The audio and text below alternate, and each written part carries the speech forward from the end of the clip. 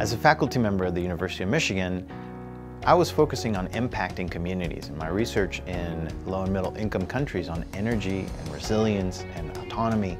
And I didn't intend for this to become a, a market opportunity.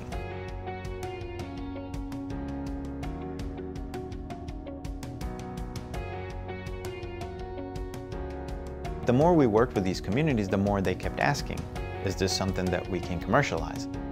I think this is where the William Davidson Institute is such a great partner because they were able to see very clearly how this could be commercialized into a market opportunity. Jose has developed a great technology that we believe has a lot of potential to be a profitable and scalable business in low and middle income countries. One that can bring benefits in the energy space and agriculture and through that have positive social and economic benefits more broadly.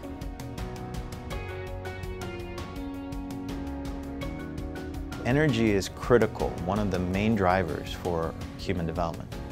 Right now, there is a large part of low and middle income countries that do not have access to electricity.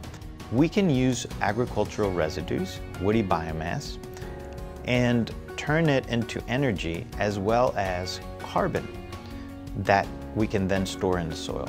In general, when you're trying to do gasification, you focus on energy recovery and not on the production of biochar. But we realize that biochar is an important product that we can take advantage of. That biochar essentially locks carbon into place and allows us to put it in the soil. This technology can help us bring the cost down of electricity supply to many of these areas. We can compete with the grid and we can supplement solar energy.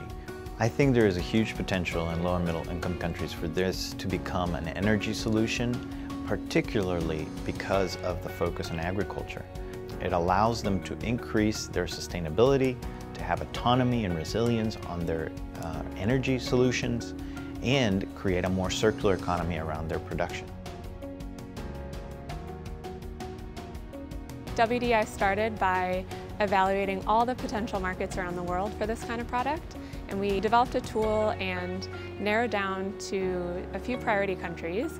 We then did a deep dive market analysis to understand the best uh, market entry strategy there, and then moved forward with developing contacts and developing aspects of the business model to be able to move this uh, project from prototype to business.